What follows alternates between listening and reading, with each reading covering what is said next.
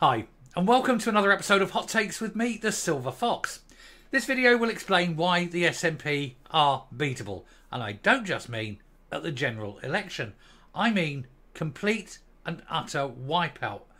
So financially broke that the entire party will collapse and go into administration.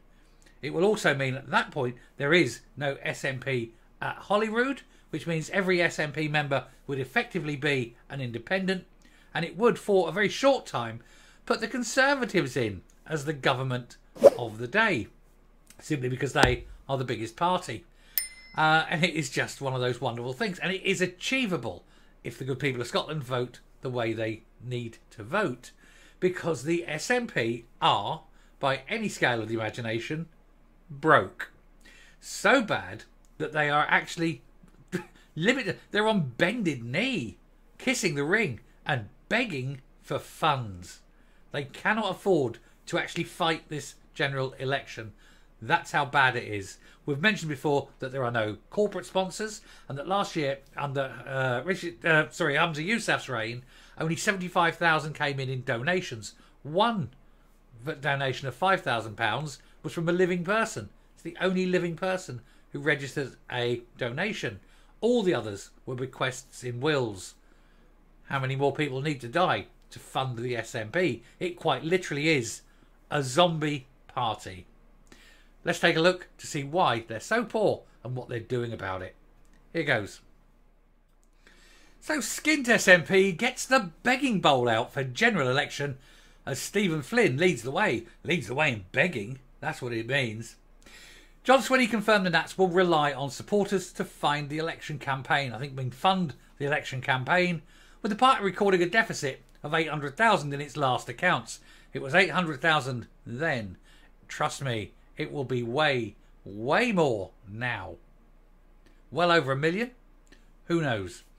Uh, John Swinney has confirmed the SNP will be getting the begging bowl out to raise money to fight the July the 4th general election.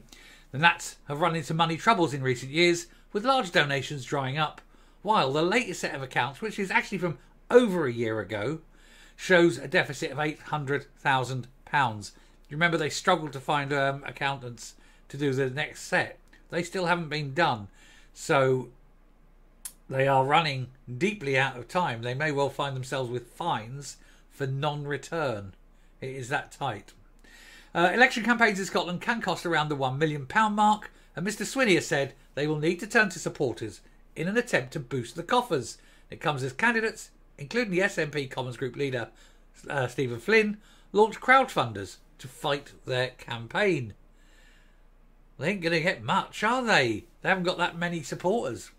Uh, the SNP managed to avoid a costly leadership battle when Humza Yousaf resigned, but the early election date presents a major headache for the new leader. Speaking to Radio Scotland's Good Morning Scotland show, the First Minister was asked how his party would raise the money for the campaign ahead of the vote on the 4th of July. Well, they have no idea. They're trying their best. The, one of the biggest problems they've got is that the bank is owed a lot of money. And the bank will be looking at the polling, and the bank will see that it is very likely that the SNP are going to lose a lot of seats. Now, they know that the major income at the moment is from Westminster via the uh, the, the short money and via the salary uh, take that they get from the MPs. If they're going to lose a lot of that, they lose a lot of short money, they lose a lot of MPs. That's a lot less money coming in. And any bank worth its salt will not extend an overdraft or, a, or, or issue a loan.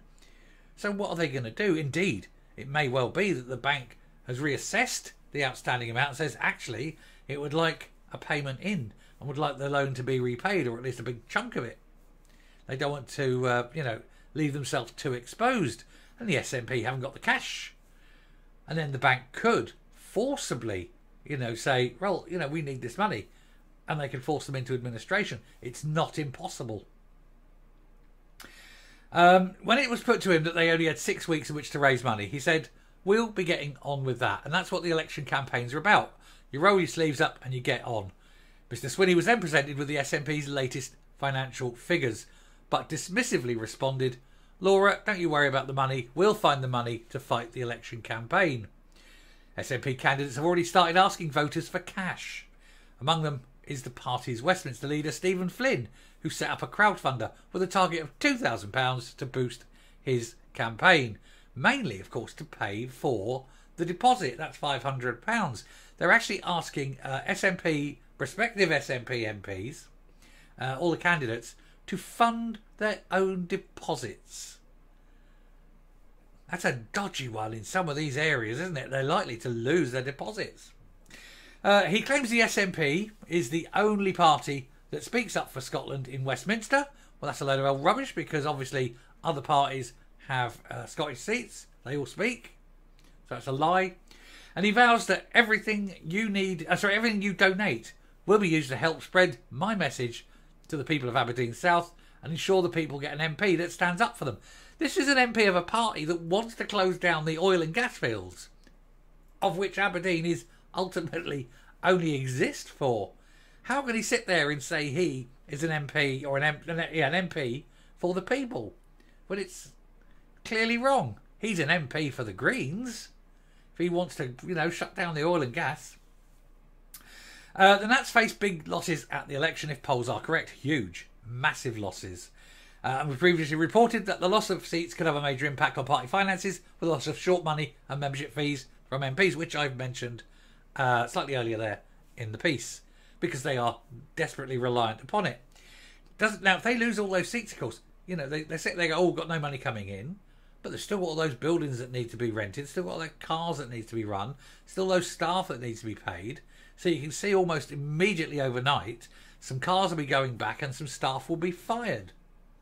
They'll have to draw their horns in because, as I say, the banks will not extend the loan.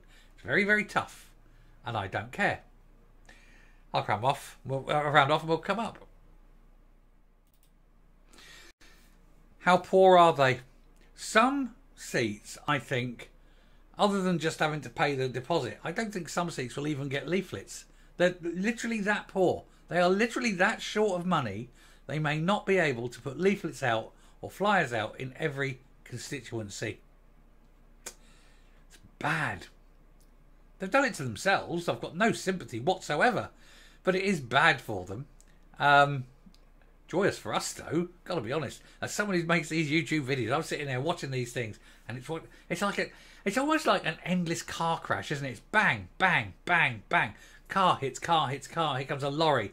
You're driving along. You know, you're an SNP uh, politician, and the next thing you get, you go in Sky Road, Sky Road, Sky Road ditch. You know, it it just tumbles it's fantastic. Can't get worse, can it? Hope it can. Anyway, thank you very much for watching. Do please hit the subscribe button, ring the bell, leave a like, leave a comment, please share the video, and I will sta- uh, I will speak to you later. I don't know what I was going to say there. Bye.